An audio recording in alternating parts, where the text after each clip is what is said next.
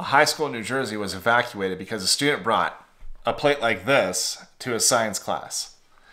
Now, why would they evacuate a school because he brought a plate like this? Well, this plate is actually coated in uranium oxide and it is radioactive.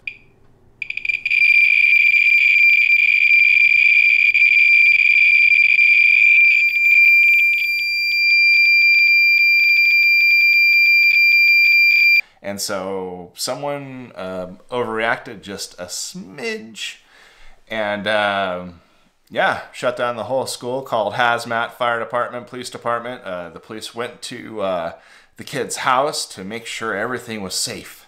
Uh, and that is uh, pretty interesting that that level of um, response was called for for something as simple as this. And I picked this one up at a uh, local antique shop uh, here in Montana, and they can be found almost anywhere in the United States. So at a distance of about 10 inches, it's still detecting radiation. And as it moves closer, it goes up to its maximum value right now, which is around, you know, 48 to 50,000 counts per minute. But this radiation isn't very penetrating because just putting this normal ceramic plate right over the uranium plate and there's barely any detectable radiation.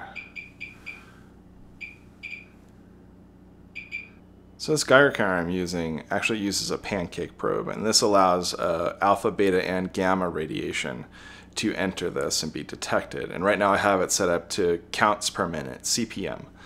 And if I want to check to see what the gamma exposure is on this plate, I would have to put on this filter here, which can sometimes be a little bit of a trick, but there we go.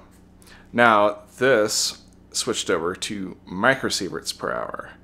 And so that kind of gives you, this is a, microsieverts is a, or sieverts in, in itself is a way to measure uh, dose, eh, or sorry, grays. But so to figure out how much dose this plate is giving you, on contact, it's giving around, uh, it looks like around nine or eight microsieverts per hour, and that is about the same as a chest x-ray. But that's only at surfaces. If I move this away from the plate, it drops off dramatically.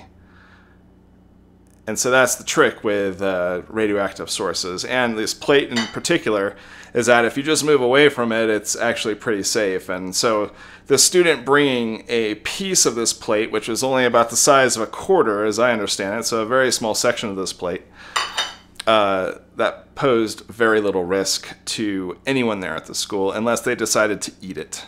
Uh, that's the only way it would really be dangerous is if they uh, if someone were to be eating it or to uh, grind it up and inhale the dust.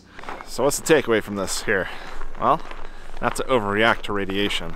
That should be the one. Yeah, that school uh, kind of you know really screwed the pooch on that one. I don't know why uh, educators uh, would um, not research something a little bit more before making such a snap decision. But uh, hopefully they learn from their mistake or even realize that it was a mistake.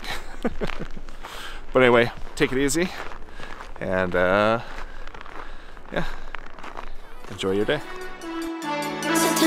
So